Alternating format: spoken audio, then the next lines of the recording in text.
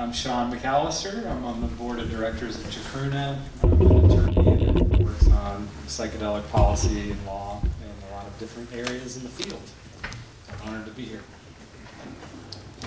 I'm Joe Tafur. I'm an integrative family physician, and I'm a ayahuasquero with the Church of the Eagle and the Condor.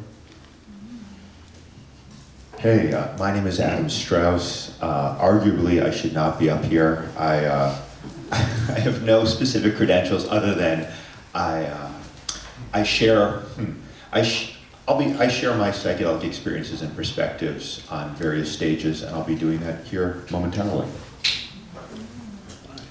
My name is Michael Ziegler. I think I'm here as a rabbi. I was one of the founders of the Chaplaincy Institute in Berkeley. I'm also a Hindu like the Kadelic.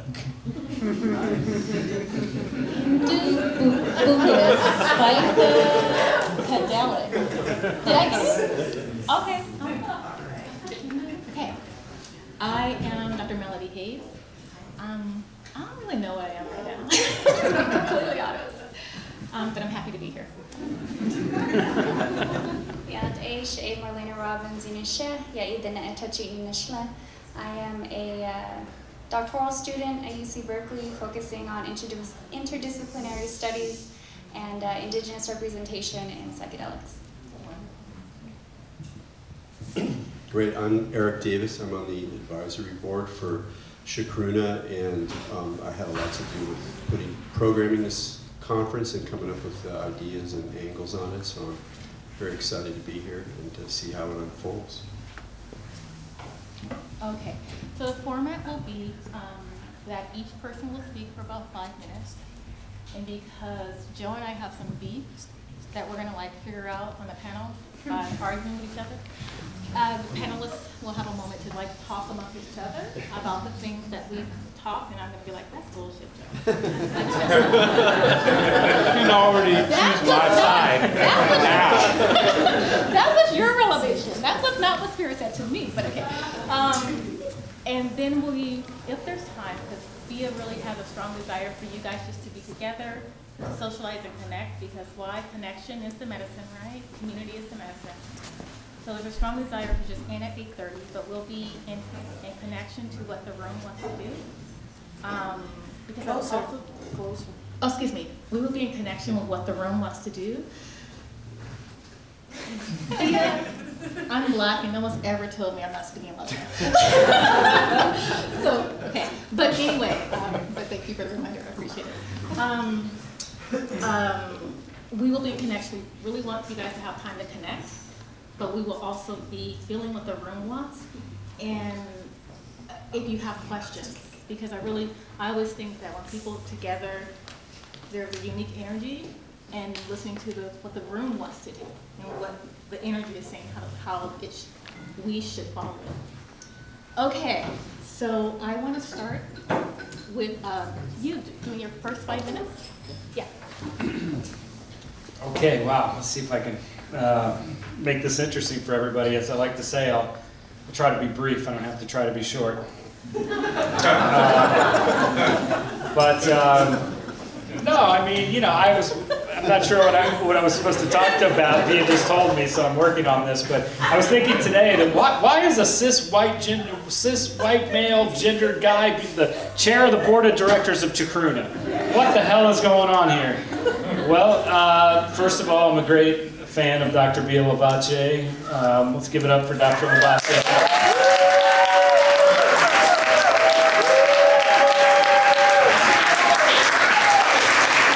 Easy way to get an applause, but 25 years ago, backpacking through the jungles of Brazil and Mexico, drinking ayahuasca at every turn, doing lots of irresponsible things, but led a life of uh, lead by example and never give up and um, immigrate to the United States and find a community here. And we're just so grateful for everything she's done and so grateful she moved to the U.S. and we welcome her here. And I really am here to support Dr. Labate because, you know, I'm, like I say, I'm another long line of you know privileged white males that goes to Costa Rica and drinks ayahuasca and says, okay, wait a minute, how do I help?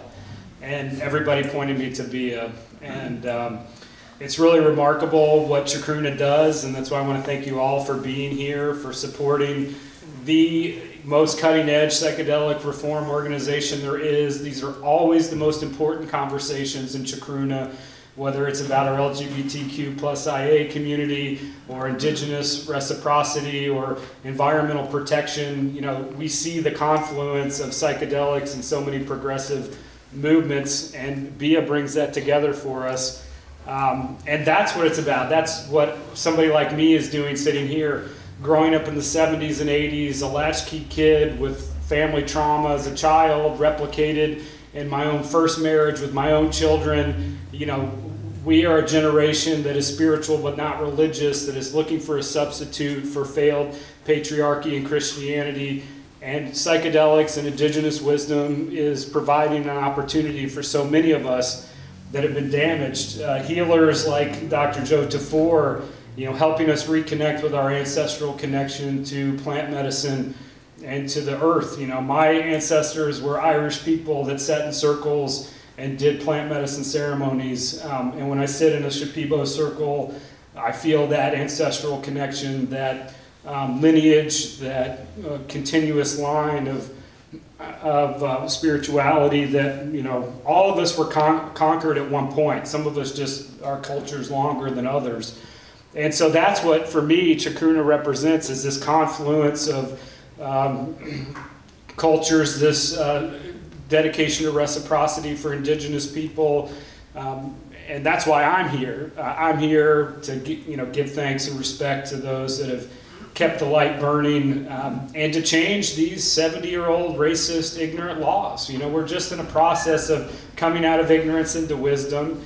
And so, you know, how that manifests for me and what I see in the coming years is, you know, seven months from now in Colorado, you're going to have four psychedelics that are legal to possess, cultivate, and share among all adults. It's happening in Oregon, it's happening in California. And religious freedom specifically, the reason I'm on the steering committee for the Colorado Initiative is because we are protecting communal use. We are protecting traditional indigenous use. We are leaving a space for a non commercialized healing place where real healing can happen. Um, and yes, there's going to be an Oregon style regulated piece there. But I see four or five different visions of the psychedelic future in America. There's going to be an FDA route, there's going to be a state regulated route, there's going to be a religious freedom route, there's going to be um, you know, an underground libertarian uh, psychedelic freedom route for people. And so, with all those things, you know, as Bia says, what, what we're trying to do is create culture around this, not counterculture. We're um, the best practitioners, the best people leading the way are doing it in a way that gives back to community, that, that centers equity, that centers indigenous people, that finds new ways to deal with capital. Um, and all those things, unfortunately, you're going to have to have a lawyer involved. Uh, so uh, pick the right one, but uh, there's a lot of other great ones here. My friends Ariel and Nicole, and uh, a lot of great psychedelic lawyers. So I won't go on and on, but I'm involved in all those things the policy, the religious freedom work with Joe's church that could set precedent in the coming year or two as the first non Brazilian ayahuasca church recognized in the United States. This is the most important case in front of us. It could open the door for many other people in the future, um, many other hybridized U.S. churches. I, I love going to Peru, I love going to Latin America and have deep respect for that, but we, I want to see that be legal in the United States for all of us that are called. And so that's why I'm doing the little work I'm doing, and it's an honor to be on this panel, you did a great job opening us up and grounding us, and I think with that I'll just turn it over to my brother, Dr. Tafur.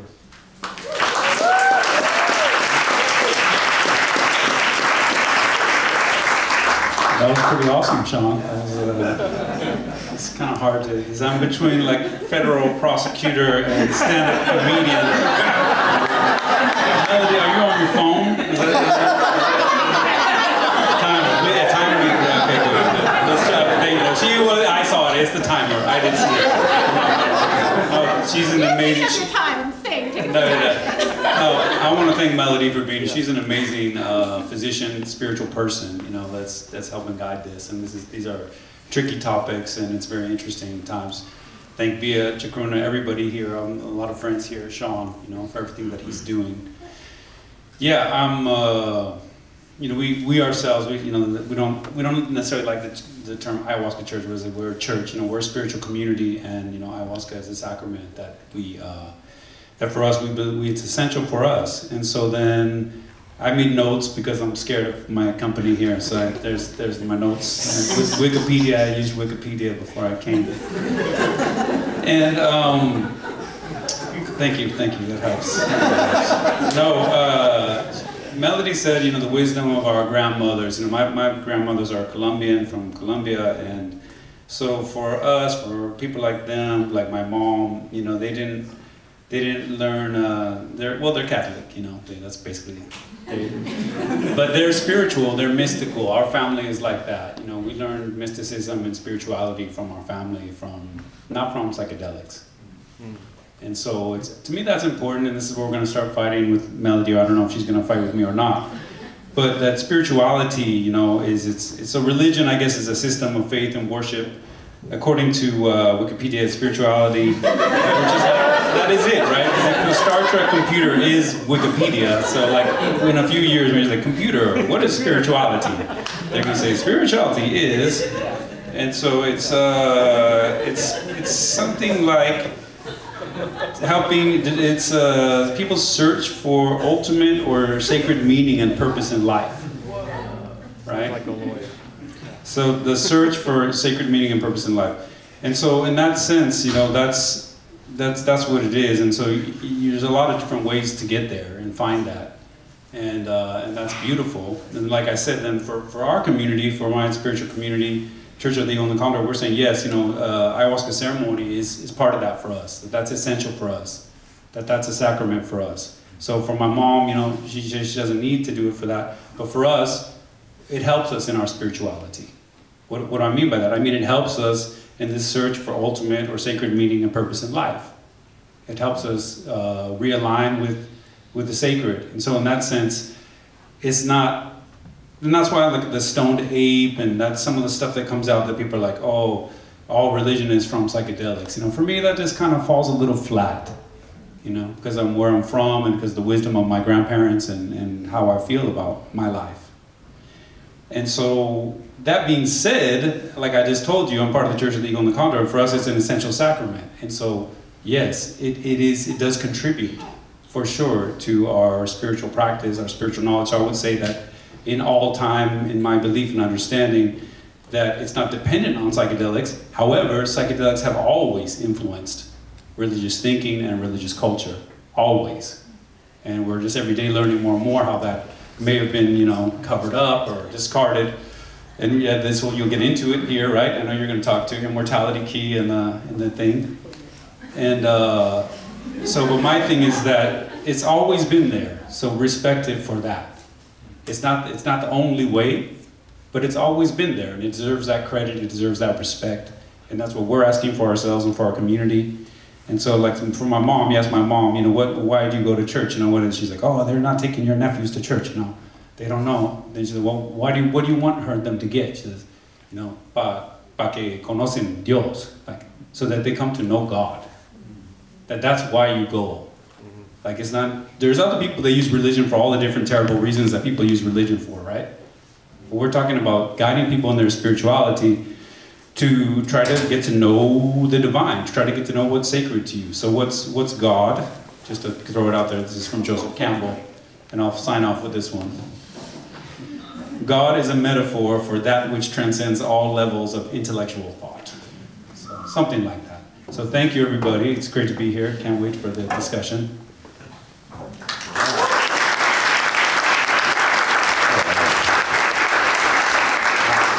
I, force of habit, I, I, have to stand. Is that weird? I'm standing literally the all of my back. This is good. Uh, Can I swap you later? What? Can I swap you? With consent, yeah, absolutely. Yeah, of course.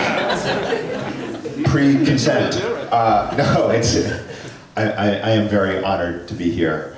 Um, and to be back in the Bay Area. I, I mostly have lived in New York, but I feel at home here. I realized yesterday I, I heard myself say this phrase out loud. I said, yeah, I'm currently between shamans. And, uh, and everyone was like, "Oh yeah, I've been there." Was-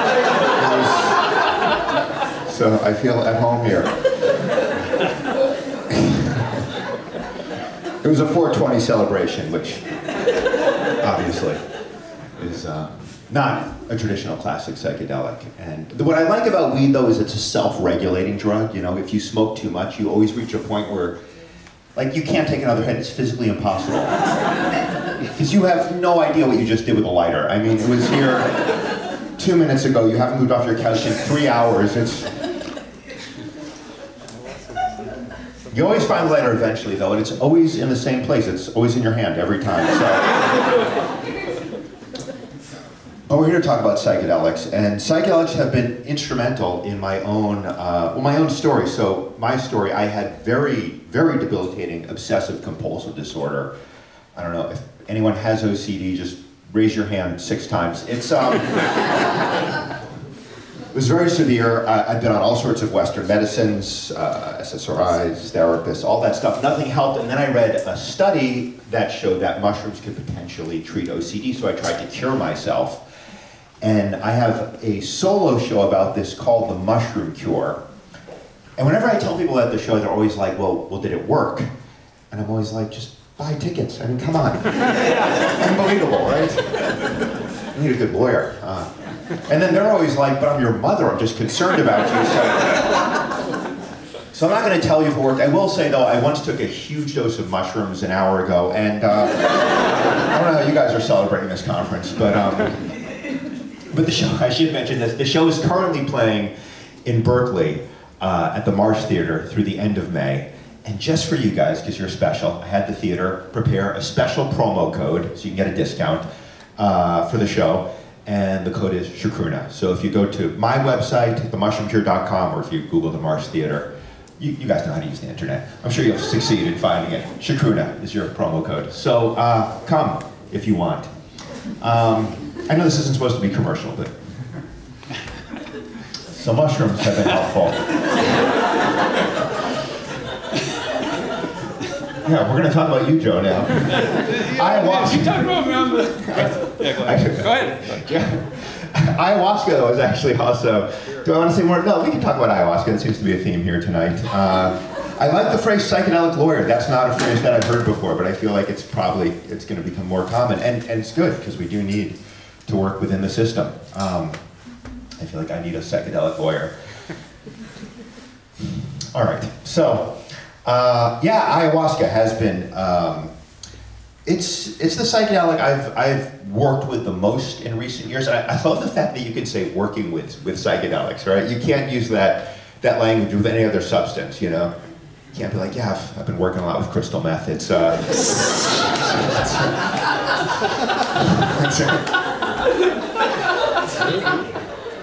so, but I have worked uh, a lot with ayahuasca, uh, including with Dr. Tafur. We, we, don't have time to get into our whole our whole ayahuasca history, but but it has been the, the reason I gravitated towards ayahuasca, uh, even though mushrooms and other psychedelics did significantly relieve my OCD, not entirely cured, but the reason I started working with ayahuasca is because of the purported healing properties. It's said that, as I'm sure many of you know, one night one night of ayahuasca is the equivalent of 10 years of therapy, uh, which means I've had 190 years of therapy. I feel like I should be doing better right now, quite frankly. So I want a refund, Dr. Tafur, a partial refund.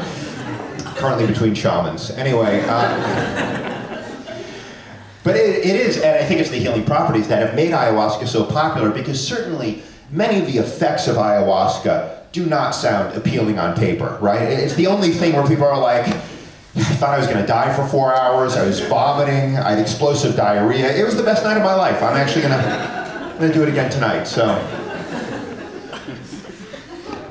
but there is there is a real trend um, towards commercialization of, of these plant medicines, and yeah, I mean, you know, on one hand, I think it's good if people are exposed to this in the right context, and if that helps get more people, perhaps. But it is I don't know. I just feel like soon we're going to see things like diet ayahuasca. That's going to be coming out soon. diet ayahuasca. All of the entities, none of the calories. Diet ayahuasca. All the entities. Really, that's my favorite thing I'm going to say tonight. Okay. I like Yeah, thank you, Joe. Yeah, thank you. I feel like this. I am though. No, I'm trying to cash in on the commercialization thing too. I'm actually, if anyone, I want to, I do. I, I'm going to start doing copywriting for psychedelic ads. Uh, if anyone is hiring, um, consider hiring me. Uh, so here's what I've written. Tell me, I'm, I'm sort of focus grouping it right now. Let me know what you think. All right. Enlightenment. Wouldn't you like to see through the illusory duality of all existence, thereby losing your alienation and fear of death? Of course you would. But with your busy modern lifestyle, who has the time? 5 MEO DMT. Enlightenment in eight minutes or less. So, all right, how am I doing with time? You doing? You have 30 seconds. 30 seconds. Well, then I, I'll say I, I do want to give a, a genuine thanks as well for including me because I think it's, uh, you know, to me, this stuff is sacred. Plant medicines absolutely are sacred, but to me, laughter is is a mystical, sacred thing, and I, and I really appreciate Bia has been so supportive for many years since I doing the mushroom cure, and I appreciate Chacruna and Bia. Uh, including me and including laughter in, in, in these sort of things and just yeah it's great to see people coming out and supporting this so Usually you get off stage to applause, but now I'm just going to sit down quietly. So.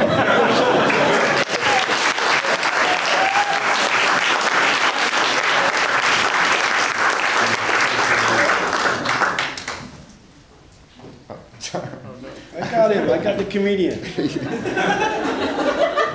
return again, return again, return to the land of your soul.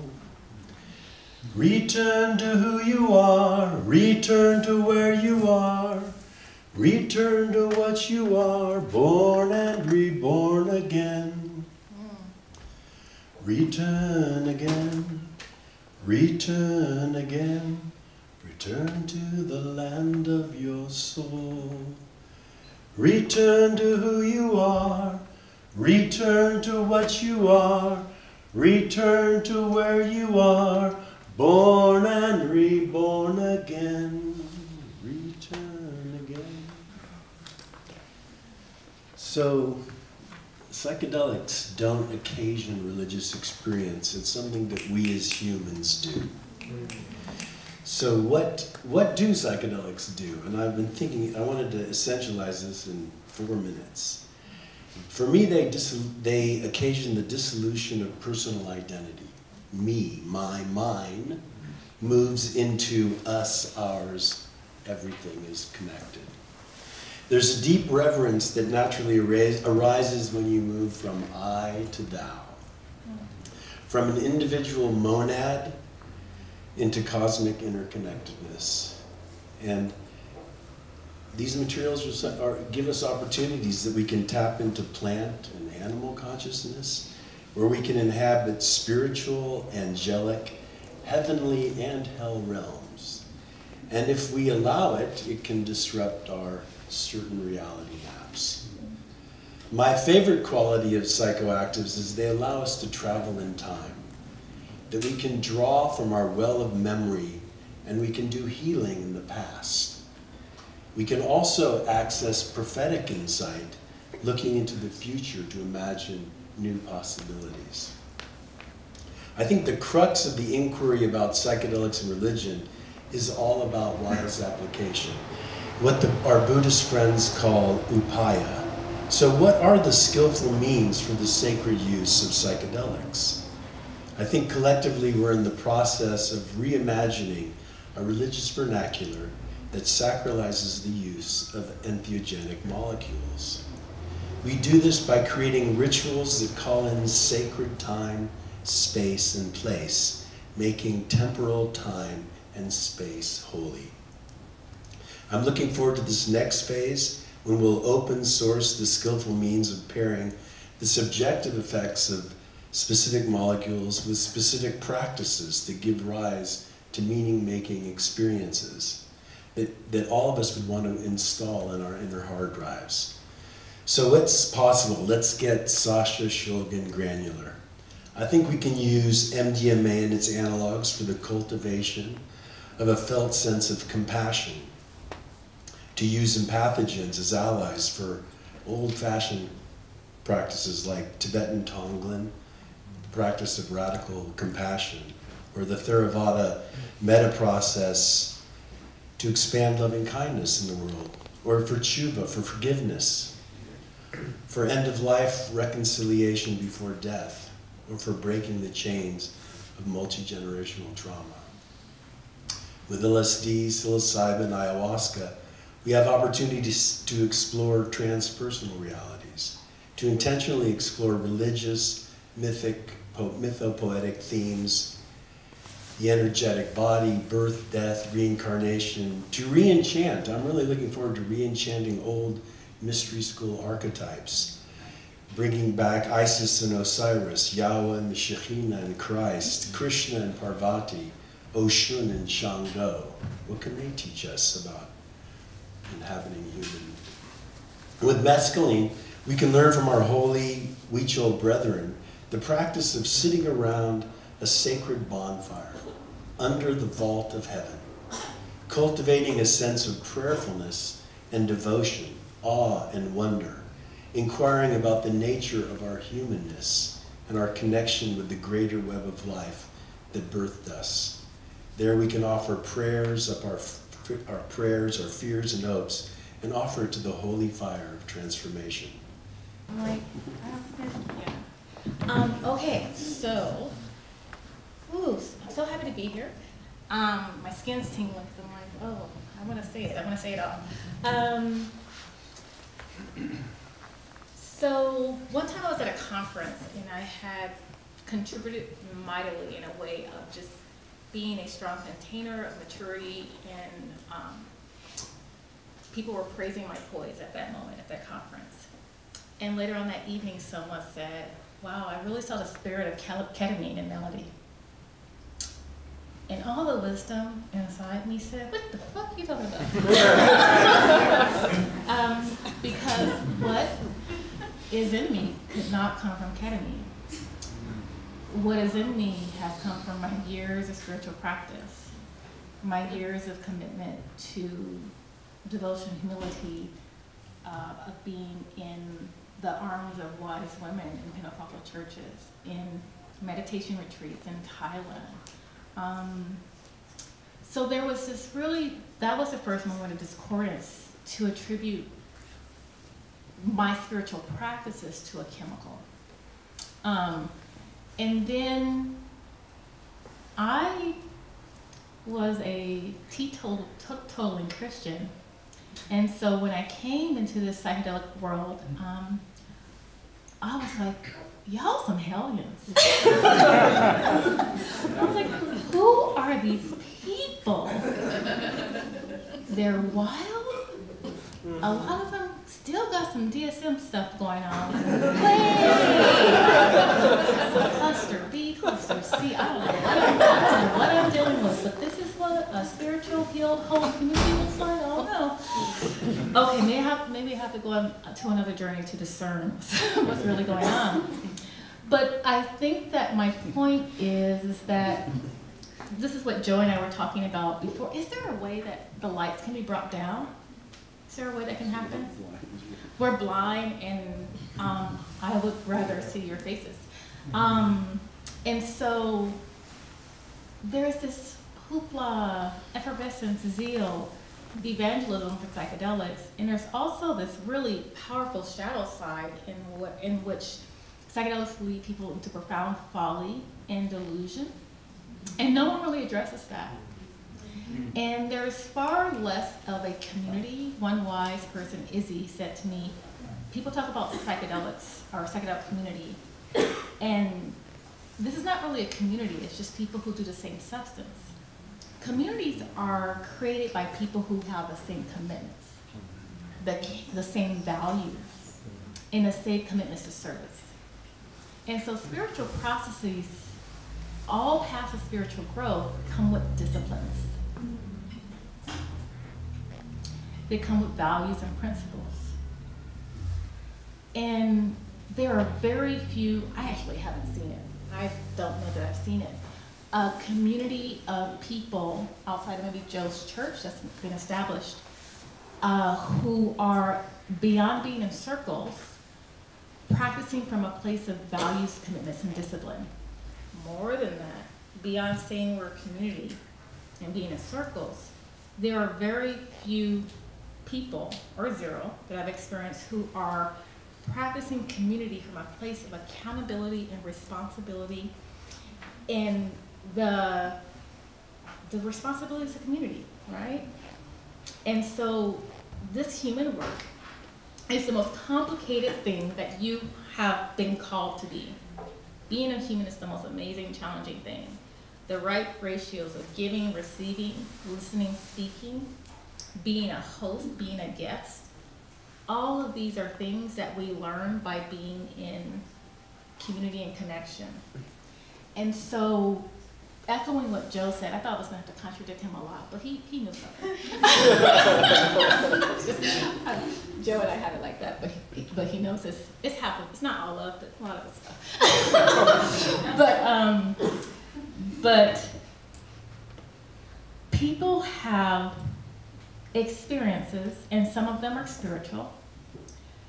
And however, that these spiritual experiences are not are not equivalent to a direction. Having these experiences do not point people in direction. And you know, my directionality is accountability, honesty, responsibility, and service, right? And so, you know, because I care about social justice, because I care about creating loving communities, because I am a physician who cares about the health and well-being, maybe my psychedelic experiences encourage something in me to offer something to others. But someone else who has a psychedelic experience and they says they say, oh, now I'm ready for my, you know, series one gain of my startup, you know? So there's no inherent directionality in psychedelics. But what comes with these experiences, I'm trying to be in integrity with the time I'm taking. So, um, just checking my clock. But there's a exuberance and a belief in your own, oh man, I wasn't in my clock. Someone else be responsible for my time. Give, just, give, just give me two more minutes, I'm sorry. I thought it was, me. Um, and so, the exuberance feels right. The confidence comes. And so you will be confident to practice your passion if that's service, and you will be confident to be the same fool that you always were. And so what grieves me, and I had to go through a process of discernment, is that, and y'all watch Cover Story if you want to go, uh, like, listen to Cover Story if you want to go more to the shadow. But I didn't have to see co Cover Story. I just had to see what was already happening. And people in, the, in my proximity, still continuations of like, just lack of honesty, continuing dis to disrespect to people of color, continuing entitlement by white white men of psychedelic consciousness. And so what I came out hard in, for this process, for this experience. I contributed to decriminalization in Oakland. I advocated in, in California, in, um, in Sacramento for decriminalization. And so what was being developed and fostered? Because I saw angels and demons, right? I see people infused by zeal, and I see people with amplified greed. And this is the truth. You know, this is the truth. It's not inconvenient because if you love the path of growth, no truth is inconvenient, right? And so I'm like, oh, I got a finger snap. I think I said. and so I just really want to come and really just bring the realness about to there's so much hubris. And it's not about substances, it's about being in a committed community to a discipline. He, he's to hold me accountable. to a discipline, and because I'm disciplined, I'm to pass the, pass the mic. Thank you so much. oh man. Okay, I'm saying that if you want to grow, what's lacking? What's lacking is everyone's enlightenment is not true, right? And everyone's feelings of glory, like everyone's feelings of liberation, everyone's feelings of healing are not true. And so people feel like they're whole and healed, but they're still broken. And they don't know it. That's the worst part. They think they're whole and healed because they felt better, but they're not quite there. And there can be kind of parallel reality stories that they're telling themselves, and that the community is also saying, yeah, yeah, like reifying their own sense of transformation. But it's not about a high, it's about a change in your relationship with others. Okay. It's about a change in your relationships with others. Your growth, Thich Nhat Hanh says that power, real power, power is power to create happiness for others and yourself. So you're not increasing that practice. I don't care about your alignment or your vibration or how many ayahuasca circles you set in. You're not doing the work. And so how can we bring a practice and accountability, accountability to discipline? Uh, One more point, excuse me, I apologize. Um, people go from, I'm gonna sit with psilocybin. Next thing I'm gonna do MDMA, you know, LSD. I need to do a mixture, blah, blah, blah. But I really didn't get there, so now I'm gonna go and do um, ayahuasca. And no, but I really have to dig deeper, so now I'm gonna go and do ibogaine. And now, I, no, I really just need to mix these two together. I, psychedelics are not addictive, but that behavior is escapist. Moreover, it's not about the substance, it's about you, your commitments. And if your relationships and your commitments haven't changed, you haven't done the work. And that doesn't take a substance.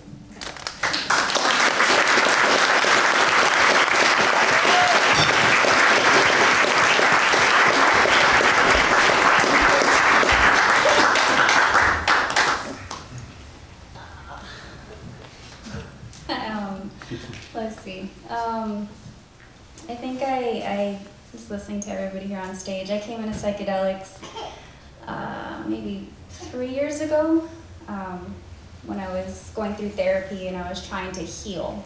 And I really, really, really wanted to heal. I knew that I was uh, about six years sober. I was trying to understand um, my anger, where it was coming from, why I had it, why I was carrying it.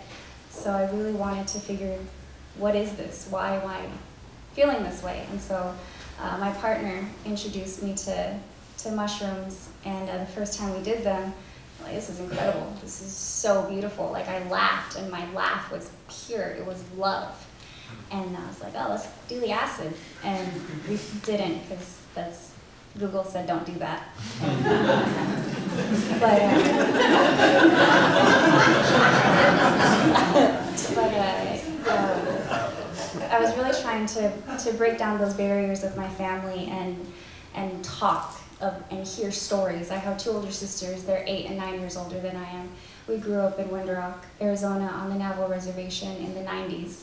And so that time, there was a lot of gang violence, a lot of drinking, a lot of domestic violence. And don't get me wrong, there's, there's a lot of statistics that plague the reservation, but it was a beautiful place to grow up in. And we were tied to our culture, tied to our grandparents, um, literally tied. Our, our umbilical cords, our placenta is buried there, so that's where we, that, that's our, our tie is there. And um, I, I was trying to get those stories of what happened when they were growing up and, and how their lives took these different trajectories and how they turned out to be that the women to be the women that they are. Um, and so uh, we had these two chocolate bars that are four grams each that my partner made for us. And um, I was like, let's all get together and heal. Like, let's, let's talk about this. Let's figure this out as a family, what is going on. And, and I want you guys to heal. I need you guys to heal. You're my, my mentors. Um, and uh, my mom, they didn't want to do them, my two older sisters. Um, so my mom and I did them. And uh, uh, it was four, four grams of uh, envy. And, um, yeah, and that, later on, Google said that uh, psycho, the most experienced psychonauts take uh, that, that particular mushroom. Um, and so I dove right in. And my mom, she dabbled in them in the 70s, like uh, more recreationally. But um, we turned it into our own little ceremony. And I think that's what it was important as well, is like we prayed before we did them. We talked to them, we told them like we're trying to heal our family. Like this, this show us what we need to do to heal. Um, and we put on some grounding music and we laid down together. And I was a mama's girl growing up, so she got to cuddle with me. And I felt like I was back in the womb. Like it was womb. I felt love and beauty and balance, and we call it hózhó, which is uh, means means uh, everything's in, in balance. There's beauty all around you. Um, and then she rolled over and she went to sleep, and she was like, "Don't be taking so much. You're so tiny." And then I rolled over, and that's when like my shadow work started. That was the I saw something. I saw some. I, I was. I saw a lot of uh, entities that were tied to my guilt and anger and shame and, and trauma. And uh, and uh, Thich Nhat Hanh, um, I remember him saying in one of his books, "You acknowledge them. You say, I, I'm here to heal you. Thank you for presenting yourselves. Goodbye." And while that worked for another another time that I, I did that, um, it didn't work this time. They're like, no, like you're gonna sit with us, you're gonna see us, you're gonna acknowledge us. And I was like, all right, guys, like I gotta tap out. I can't, like I, I gotta, I gotta get up and move. And so I went into the living room and um, uh, burned some cedar and sage, and I saw the paintings that I did of my great grandparents. My great grandma was a medicine woman. She was a hand trembler, and so her her patients would come to her, and she had specific songs and prayers um, to to to help guide them through. But it just reminded me that this medicine comes into our lives at certain parts, and it helps us adapt and evolve and um, change our understanding of ceremony and how we use this medicine. So as healers, that medicine is always tied to us, and it's how we choose to accept it. If we're choosing to accept that that medicine, how we're choosing to help it, how, how we're choosing to allow that medicine to help us, and how we're choosing to um, help others with this medicine.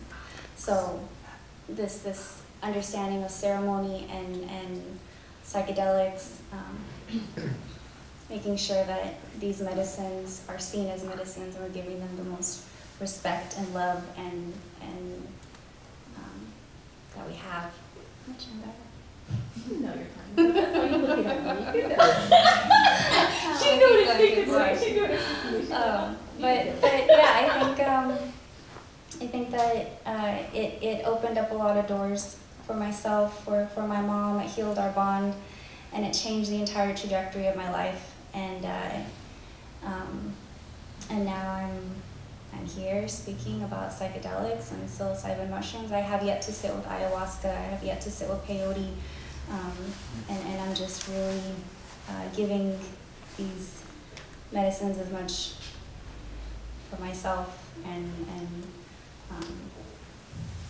talking about this whole psychedelic renaissance and psychedelic wave that's coming and, and really understanding that um, the way I did it was very safe and, and controlled for me because I understand what it's like to sit in ceremony and there's other people out there who don't have ties to that a culture or a, a specific identity or or things like that. So it can be dangerous in some forms. And um, really understanding medicine in that way. So I want to thank you all for being here today. Thank you all for listening to us and for gathering on Ohlone territory. It's really important to acknowledge the land as well that we're on.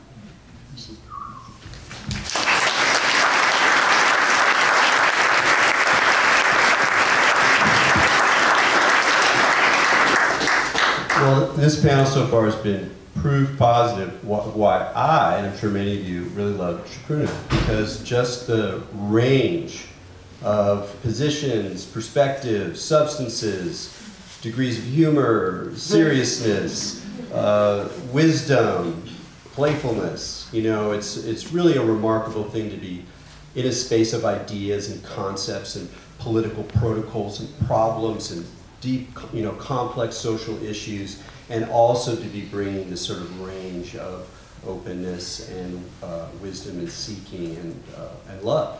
So it's really just just sitting here is really makes me understand why I hopped onto the Chacruna bandwagon.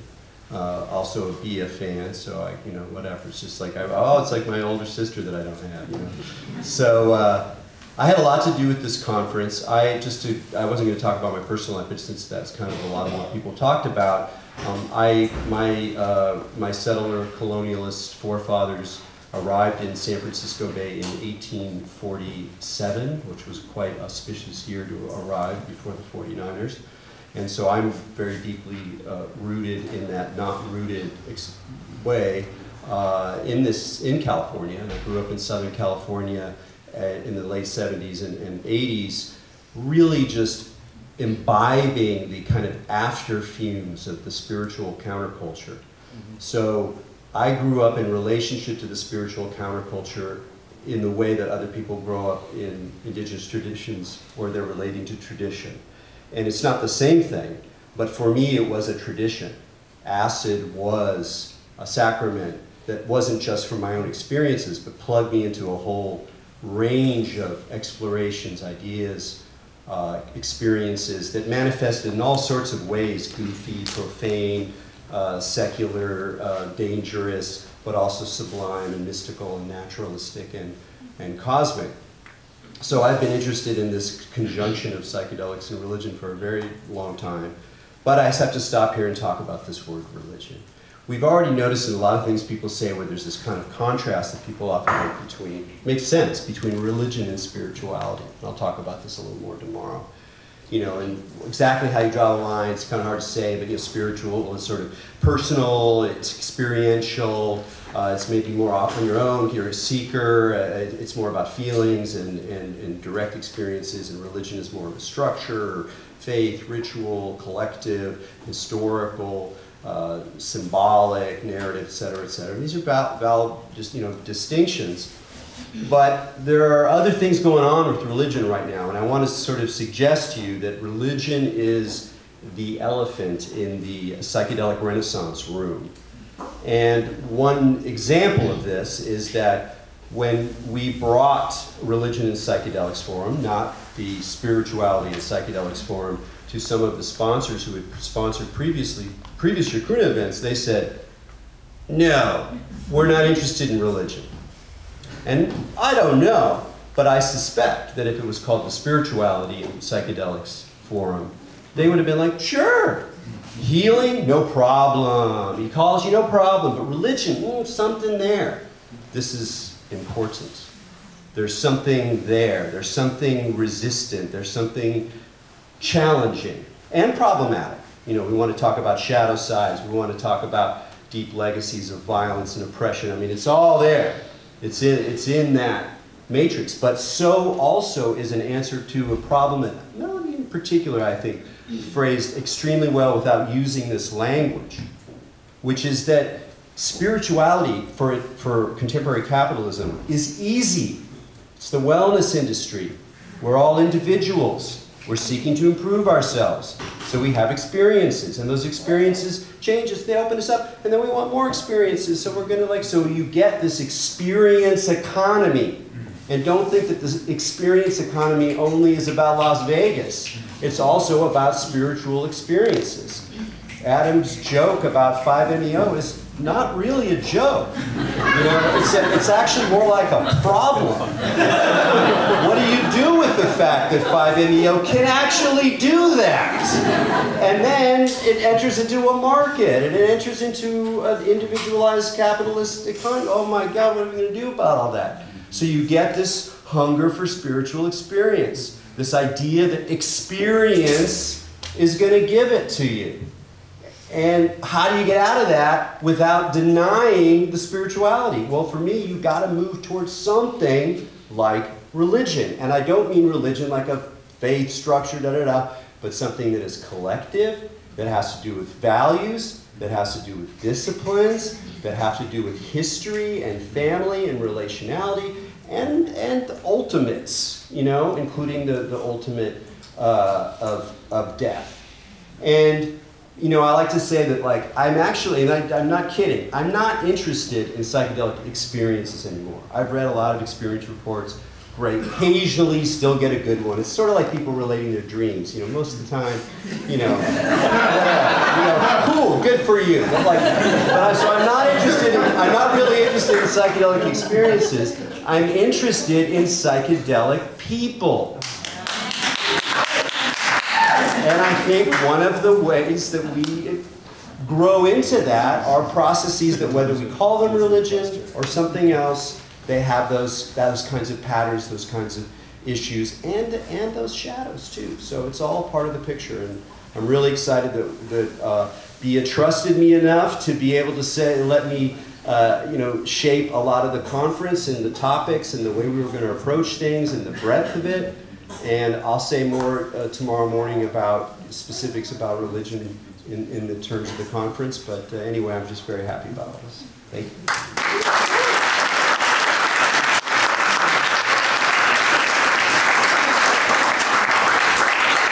We have a second if we want to. Okay. Yeah, go ahead. Um, so we have like nine minutes, and then Oh, we I- close? I didn't want to speak, I'm just saying we have a second mic. If you want Oh, to do any thank you. crossfire type Okay, stuff with so Joe. I'm going to ask, we have, we have nine minutes for the panel, and then we're going to close. I would be, I would be willing to hear if your spirit was saying, let's talk more, but we have nine minutes more for the panel.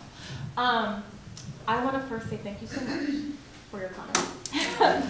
And I, um, was really moved, and, um, I just did a presentation at Nerd Night, the title was Becoming Psychedelic People. Mm. And we are so much more important, and what's in us and our commitment is so much more important than, than a, than a substance. And the substance is empowered by our presence. The circle, that's us, you know? And so I just want to reply and say thank you so much. And then I wanted to ask, um, a question and, uh, of, of you to start. Is this kind of a little bit controversial? I remember being on a panel and they were saying, speaking about the cultural trauma of Native people and saying, well, we should bring psychedelics to the Native American communities. And I was like, what the what? Because we're going to reverse colonize Native American communities, um, with bringing them a medicine or right? And I guess I want to ask you about your idea about psychedelics and ceremony and in, uh, in your experience or in your community, how those can be not necessarily given, but mixed in, in traditional practices and that are already there, that are already there. I think um,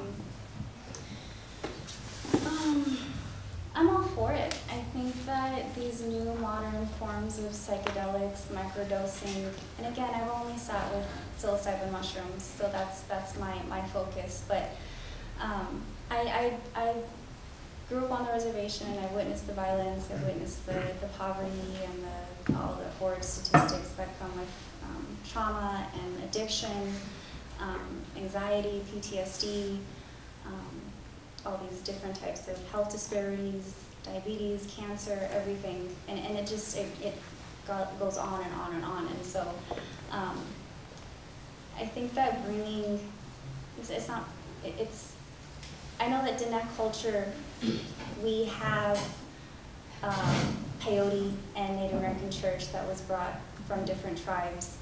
Um, we don't have a specific tie to psilocybin mushrooms. And again, I'm only speaking to that because I only sat with that medicine. But um, I, I think that um, bringing about the conversation to heal, I think that there's a lot of people on the reservation who are needing, in need of this awakening. They, they need this, this um, reconnection to spirit, to, to source. Um, I think that we were just talking about the, the concept of religion and, and the word itself um, is tied to, I mean, for, for myself and what I understand of it, uh, I'm curious to, to learn about these different types of religions, Buddhism, Christianity, and psychedelics. Um, but I do know that religion on the reservation is tied to the church, to the Catholic Church, to genocide and boarding school and assimilation. Um, my, my grandparents grew up in the boarding school system. They were Catholic. Um, And, and so a lot of trauma is tied to the church. And uh, I think that um, psychedelics be brought to the reservation and they should be utilized and new forms of it introduced to the people. Um, so there's Christianity has been infiltrating us for too long. And it's, it's been detrimental to our identity, lots of language, lots of culture, lots of ceremonies, songs, prayers. Um.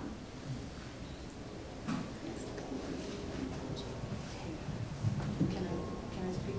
Yeah, and I, and, yeah.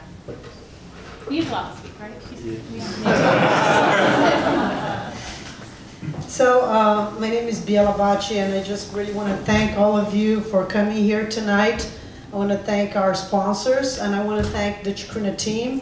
I want to thank my wife, Clancy Cavnar, that I met in Psychedelic Science 2010. We're celebrating 12 years, and we're connected through our activism and our idealism and our love for ayahuasca and psychedelics and she's part of the Irish Army descent of protectors that I have in the United States, together with Sean McAllister and Harry and Ian and other wonderful white Americans that have protected me. Chacruna is uh, a Quechua word for the leaf that makes ayahuasca, Psychotria viridis. So it's a tribute to our friend, our teacher, our ally, you know, relative. Ayahuasca has been a plant inspiring making so many of us to see, to dream, to, to think of other futures, to go to other cultures, to go to other lands, to celebrate our identity, to celebrate our families, to celebrate our love and our sense of belonging for, for, for, for the universe and for all the mysteries that encompasses and all the beauty and all the magic and all the dreaming an utopia that keeps us alive and that makes us breathe and, and just imagine and project. And it has been a passion for me, and I dedicated my path to this, and I have just received more and more and more. And so dedicating yourself to this spiritual path is a real good thing that I believe in. And this, this nonprofit is a natural extension of this call and this growth and this love. And I want to offer my sincere Brazilian love for all of you in the United States. We are all part of the same continent, the Americas. We are all part of the same, you know, unity of, of, of connections and plants don't have geographies and traditions and cultures don't match national states. At the same time, there is brutal genocides and inequality and legacies of colonialism and uh, hierarchy and systemic oppression and marginalization, and we have to talk about all of that. So Chacruna is into promoting social justice, and also I have, you know, frankly, the people that really made the U.S. palatable for, he, for me here were minorities that received me and helped me uh, make this transition to this country. And so we are all about honoring the minorities, but also having compassion and as everybody said here, having fun and doing all of this with some kind of light spirit and some kind of freshness because or else we're going insane. And this is, we have literally passed a global pandemic. We, were, we had given a down payment for the Brava in 2020 in April to do this conference and then the pandemic hit and the Brava kept our down payment, so I want to thank them. And now we're using it two years later after this crazy ride and, uh, you know, to celebrate the spiritual roots of the psychedelic movement because uh, this, the Global South, indigenous people, ceremony, ritual, religion, traditions is at the base of this movement. This movement didn't start you know, in laboratories or in the counterculture in the United States in the Bay Area. That we are all heirs of indigenous people, of their traditions, of their knowledge. We either imitated their behaviors, copied their substances, and analyzed their substance and created our own. Uh, we are all here because of these traditions, and it's time to recenter the spiritual roots of the psychedelic movement. So in Chacruna, we are modestly celebrating shamanism, ritual religion, and our love for plants. Thank you for being here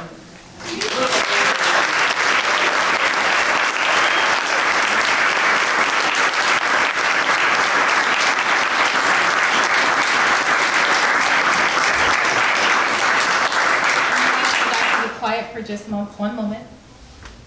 And I'm going to ask you to do it again. Please give gratitude to Thea because she does amazing work. Really, her influence is global. Thank you.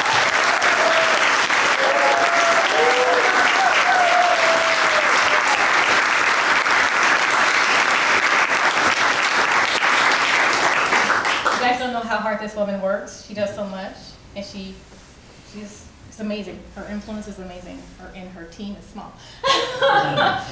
um, I want to honor Bia's intention for us close uh, closely, and I want to honor that by a comment and a prayer. Um, thank you so much for mentioning the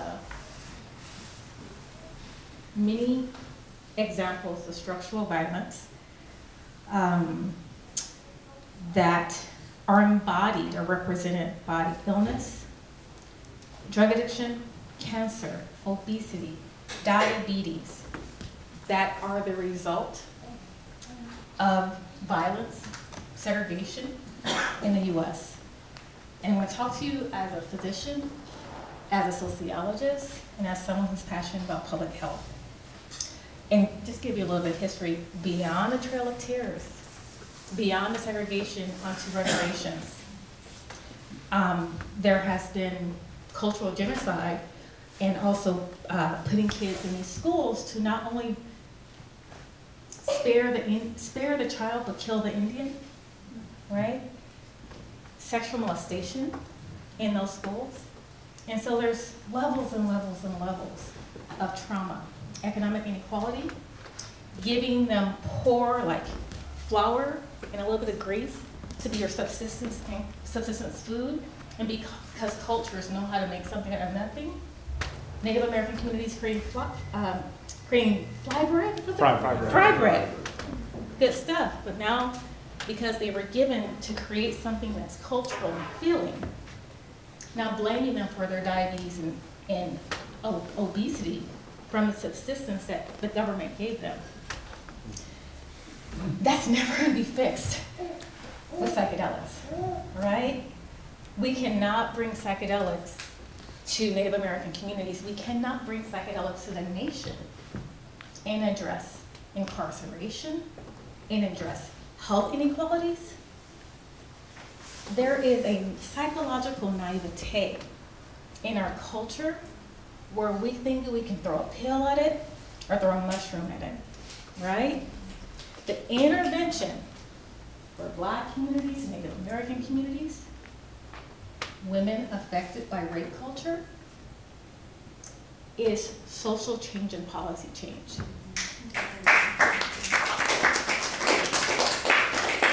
And that's never going to come from a substance, it's gonna come from you. And if you get a, a, a vision of a revelation, you gotta get your ass up mm-hmm. out of that circle and take action in the world. Mm-hmm. Your visuals, your highs don't matter, but your actions and your commitments do.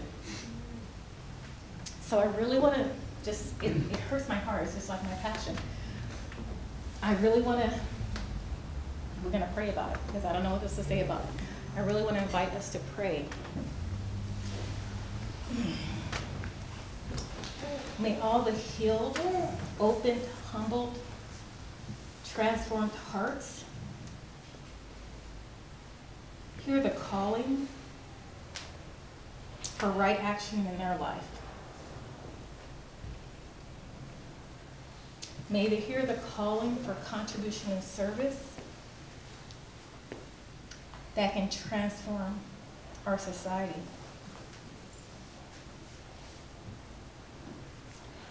May visuals and visions become visions and actions toward justice.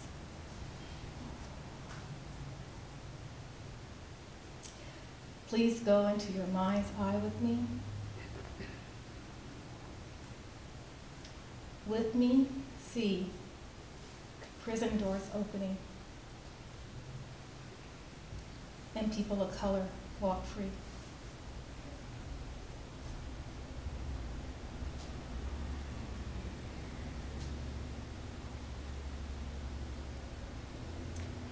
See truth and reconciliation processes in the U.S. that acknowledges the indignities and violence against Native communities, against African communities, against Japanese communities in this nation.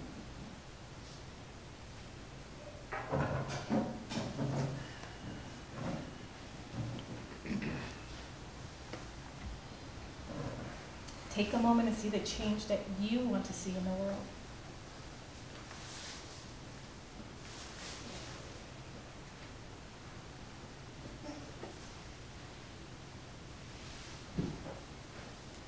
I thank you for all the good hearts and goodwill and good intentions and right actions of the people in this room. I am asking that all your actions and all your service is blessed and, and, and amplified. And I will take this moment to say thank God and many blessings to Ketanji Jackson and just giving really many appreciations to her presence on Supreme Court. Thank you guys so much.